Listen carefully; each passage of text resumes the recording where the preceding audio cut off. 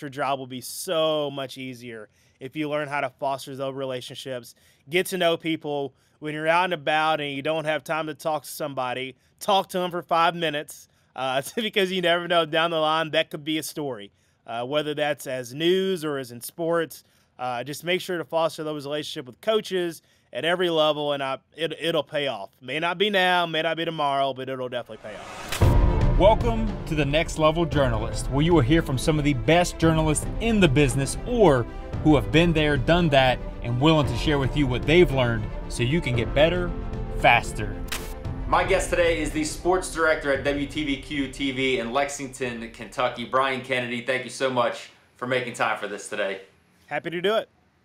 Well, Bryan, you and I obviously crossed paths a little bit when I was in Lexington, and since then you moved up to the sports director position, so congrats on that. Give us a bullet point version uh, of your progression, if you will, of your journey um, and um, in news and sports. Yeah, man. My uh, I took the scenic route, as I'll tell people.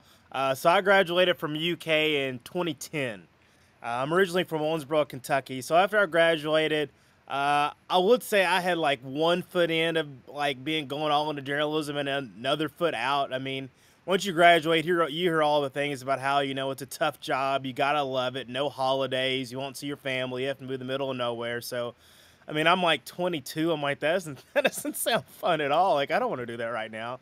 Uh, so literally, I moved home and worked worked at Sears for about three or four months. Uh, at the end of that three or four months, I was like, yeah, okay, this this has got to change.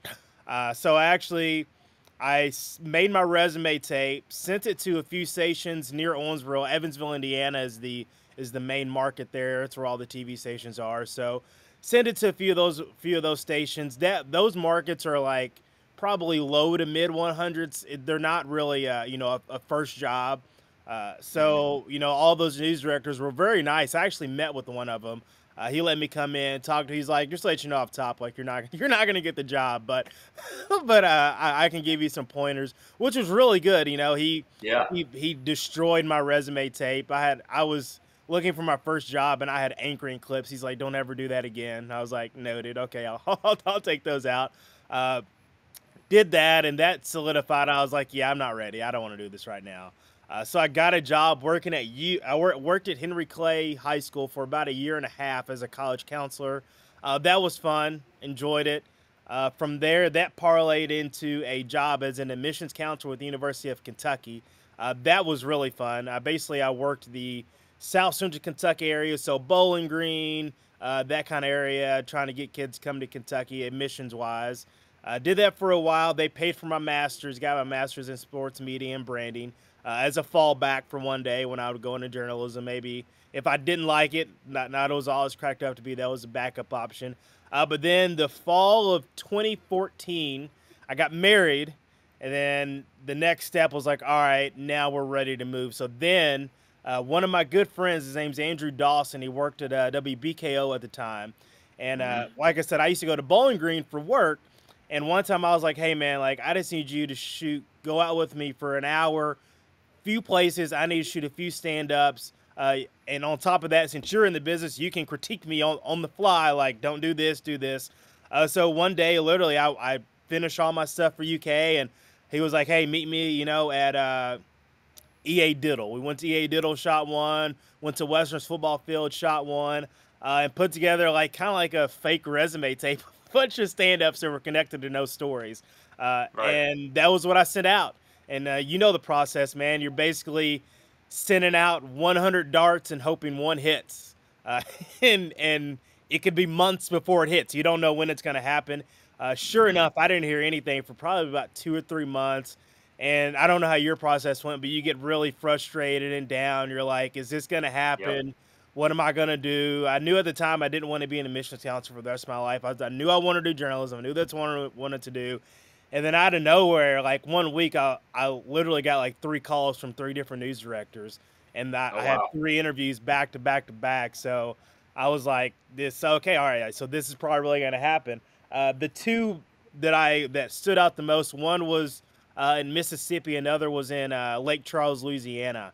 And I, I remember when the news director from uh, Gulfport, Mississippi, got off the phone with me, and he was like, you know, setting up an interview, and my wife was like, "Where was like who was that news director?" I was like, "They were in Gulfport, Mississippi." And she was like, "Where's that?" I was like, "I don't even. I don't remember applying for the job." Uh, so we're like, get it on Google Maps. Like, oh, it's on the coast. That's pretty cool. It's close to New Orleans. I was like, okay, cool. And I was like, I had no recollection of ever applying there, which is which is hilarious in hindsight. Uh, but I sure enough, I ended up getting a job. It was as an MMJ. Uh, as you know, sports jobs are a dime a dozen. Uh, mm-hmm. not only are they hard to find, nobody leaves them once they get them because they're so hard to get. Uh, yeah. So I ended up getting a, a, job as MMJ. So, you know, your nine to five, you know, regular news reporter. That was how I was going to have to cut my teeth. Uh, did that.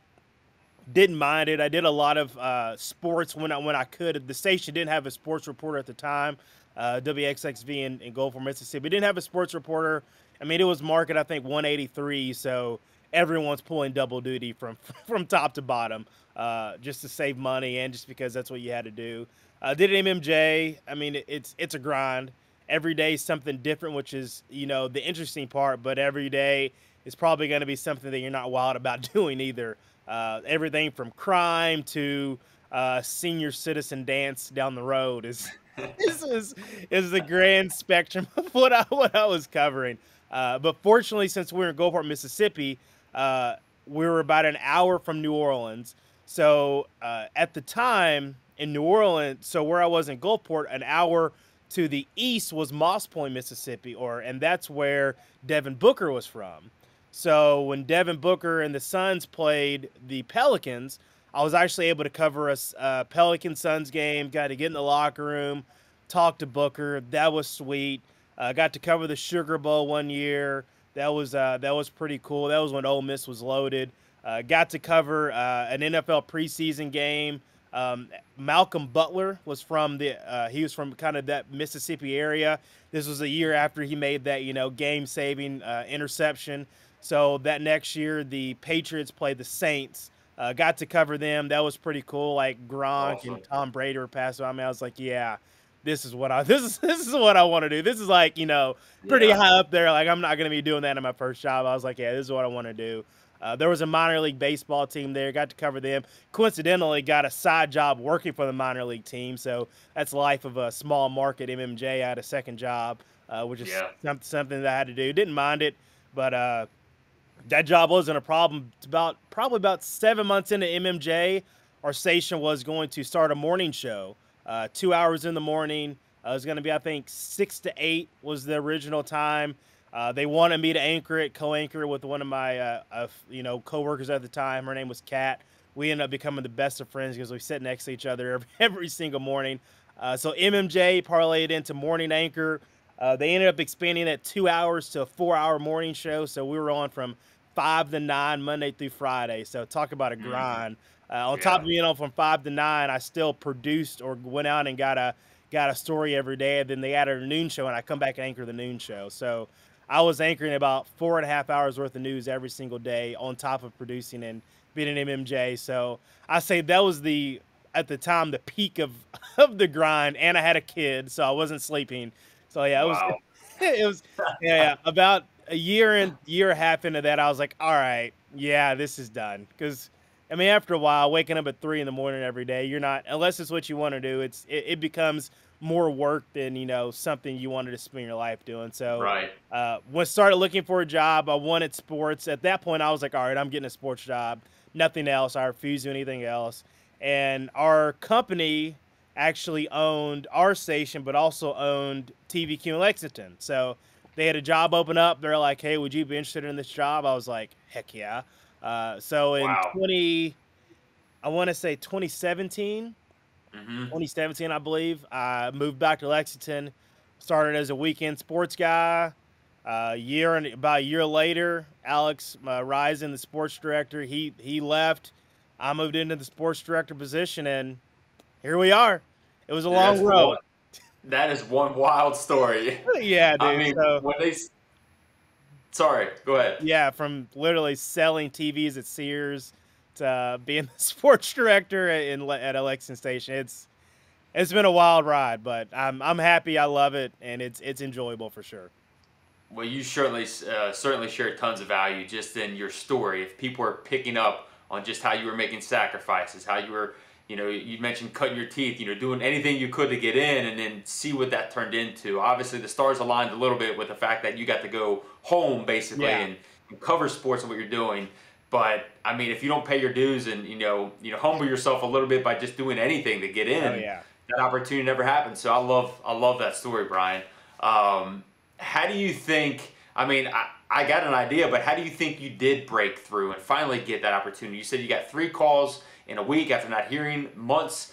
What do you think it was that helped you break through for that first opportunity? Yeah, I think it was just persistence, man, and knowing that you know this was what I wanted to do, and whether it took you know whether I got a call in a week or three to four months, like this was this is what I wanted to do, and I wasn't going to stop.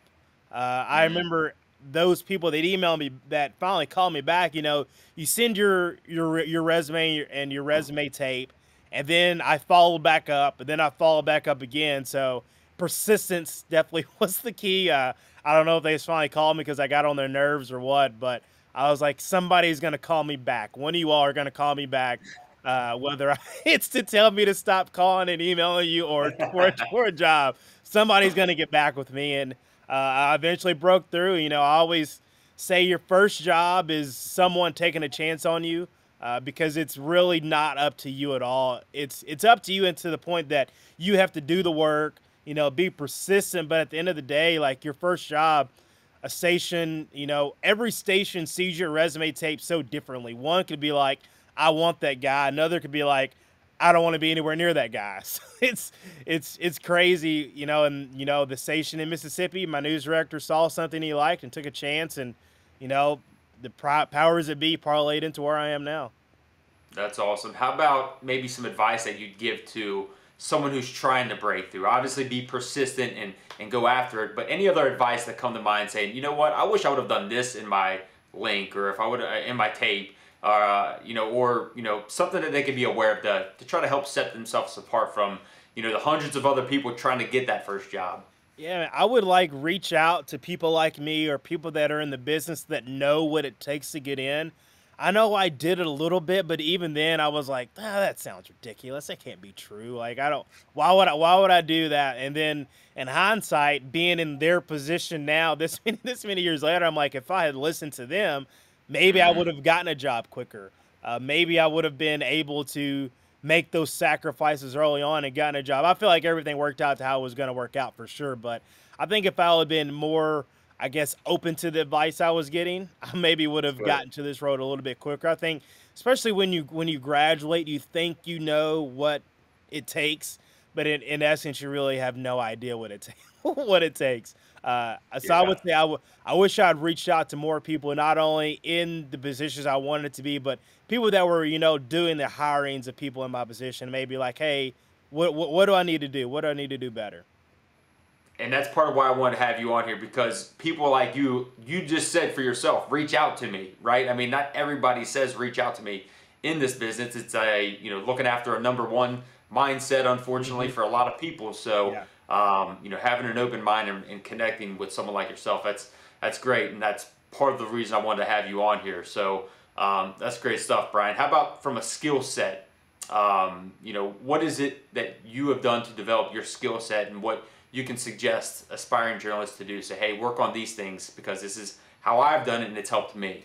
I remember my journalism teacher in school told us to watch the news. Uh, it's so simple, uh, but it's it could it can do wonders. Uh, watch if you watch the news, especially in a market like Lexington or really anywhere, and just see what people are doing, how they carry themselves. I remember when I first started anchoring, man, I, I watched, I must have watched newscasts from all over the country just to try to figure out what I wanted to come off across on TV, and but also I think the the one of the hardest things I think with with journalism and being on TV is trying to come across genuine as yourself.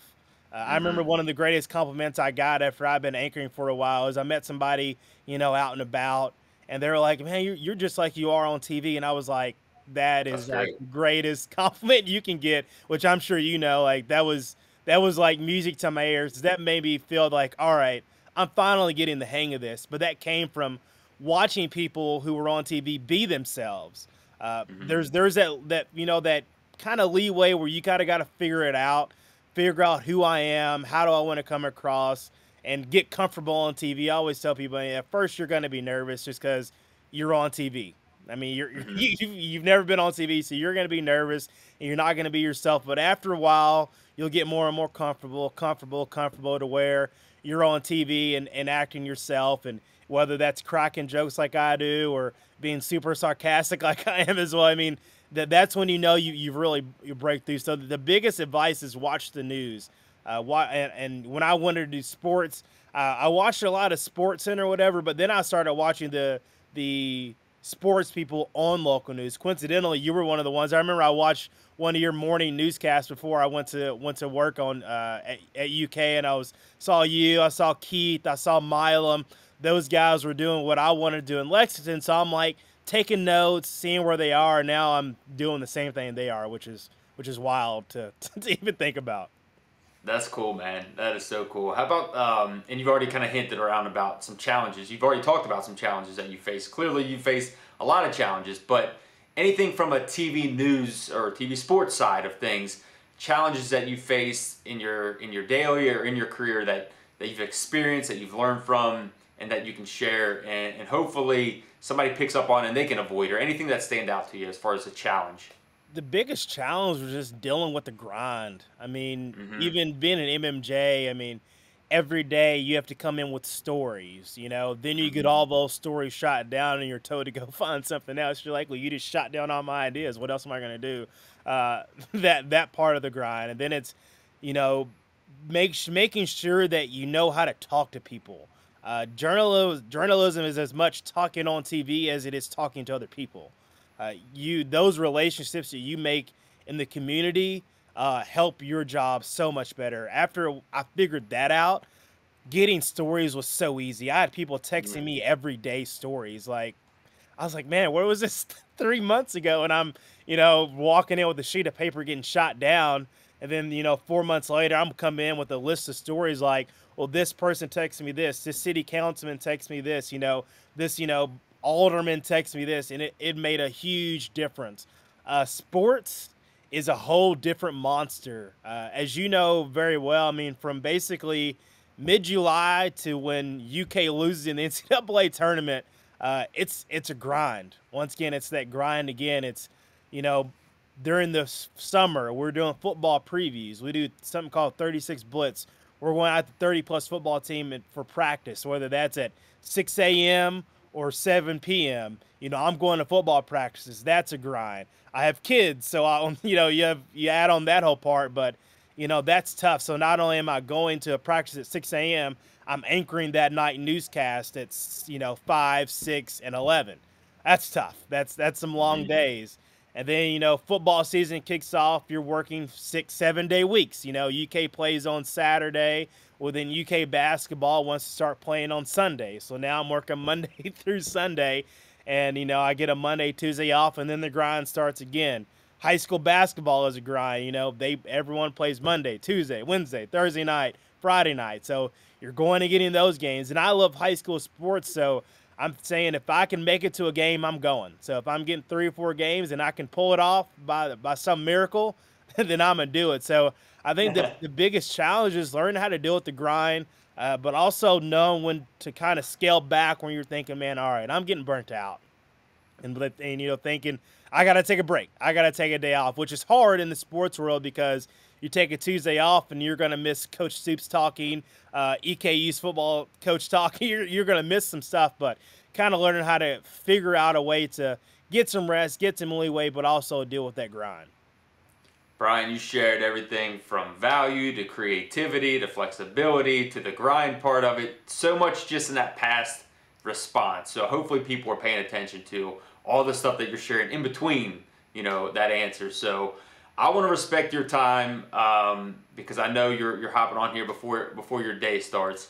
But I want to ask that what I used to always ask people. You know, anything you, that you want to end this with, anything that you want to share uh, that maybe we didn't touch on because the reality is we could go down so many different rabbit holes from storytelling to anchoring to reporting to shooting.